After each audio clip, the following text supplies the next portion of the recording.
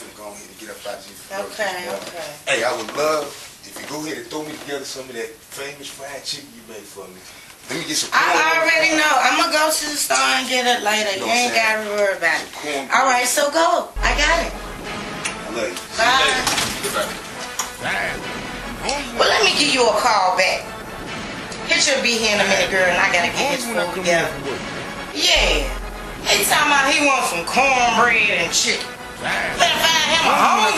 What's happening, fam? Yeah, look, man, I'm fresh in. I'm just getting off work, man. I'm hungry. I don't know what, man. What your wife cook? Oh, man, that sounds good, man. I already told my girl that I had wanted chicken and corn when I got in anyway. Uh, I tell you what, I'm gonna hit you back in like two, give me like two hours, man. I'm gonna call you back, all right? And we gonna hook up then. All right, I'm gone. Damn, I'm hungry when I come in for work. Damn, I'm hungry when I come in for work. Baby, baby, I'm home.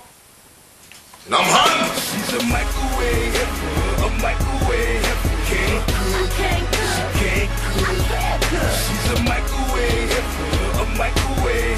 Can't cook, can't cook.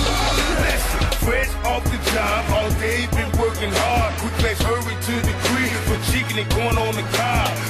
When I walk into the house, all I smell is Febreze. Go to check the store to find ain't nothing on there to eat. She in the living room eating Trix, watching flicks, telling me she tired and ain't trying to hear that bullshit. So tasting more is encore or food out the can. Toss that stuff into the microwave, but don't use the metal pan. A microwave.